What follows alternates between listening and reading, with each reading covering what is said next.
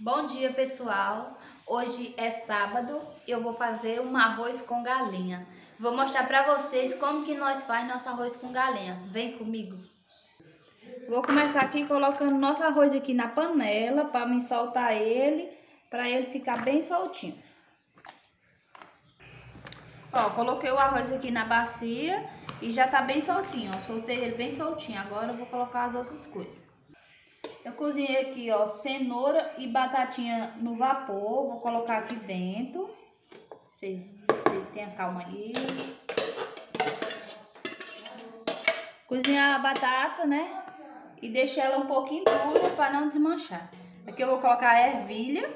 Eu escorri a água com a ervilha. Vou colocar milho verde também. Já escorri a água. Vou colocar o milho. Aqui, ó. Ó, gente, vocês podem ver aí, tá ficando muito bonito.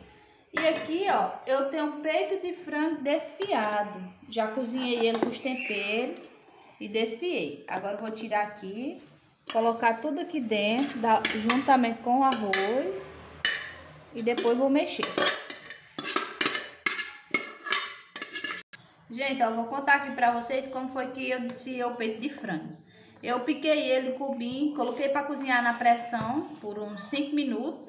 Depois eu retirei o caldo, tampei a panela com os pedaços lá dentro, balancei bastante, sacudi muito. Aí ele ficou bem desfiadinho, não dá trabalho nenhum e é bem rápido, viu? E o peito de frango aqui na cidade aqui que nós mora, o quilo tá 15 reais. E aí, onde vocês moram, quanto que tá? Comentem aí pra mim saber. Gente, aqui é o, o, o caldo do peito de frango. Aí eu vou colocar ele aqui. Ele tá bem grosso, tá bem saboroso, viu, gente?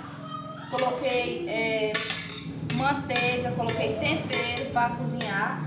Aí eu vou colocar aqui para ficar mais gostoso o nosso arroz, né? Agora vou mexer bem mexido, ó. E tá pronto aqui. Vamos comer com um alfacezinho que eu piquei. Esse aqui deve estar tá muito bom, viu, gente? Tá maravilhoso. E vocês aí, vocês gostam desse arrozinho assim com galinha?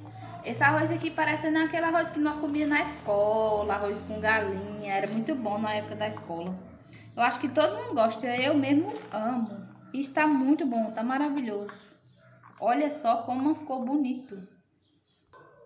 Nós usamos a bacia aqui só para mexer o arroz. Agora eu vou colocar aqui dentro dessa travessa para ficar mais bonito, né? E para ficar arrumadinho também.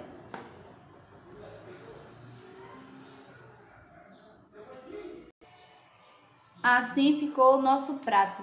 Vocês aceitam almoçar com a gente?